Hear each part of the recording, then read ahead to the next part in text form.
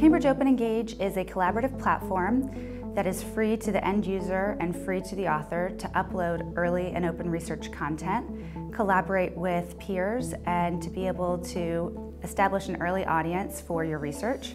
Our goal here is to build a platform that enables researchers to disseminate content quickly in advance of the formal publication process and to be able to collaborate to improve that research. The platform is different because it is connecting traditionally siloed parts of the research workflow, but it's also a much more interactive space when you compare it to our other platform, Cambridge Core, which is traditionally high quality academic content but a space to consume research rather than interact with peers. The platform is for academics across multiple disciplines. It will host early research outputs such as preprints, conference papers, data, as well as other types of open content the content will sit within a rich ecosystem of both partner content as well as Cambridge University Press content within channels and across disciplines. Publishing partners will benefit from the platform in a few different ways. The first is that they'll get insight into trends within the research field that their members are interested in, as well as analytics through a partner dashboard. For partners who publish their books, journals, or element series with us, there will be an easy submission process from Cambridge Open Engage to their publishing program.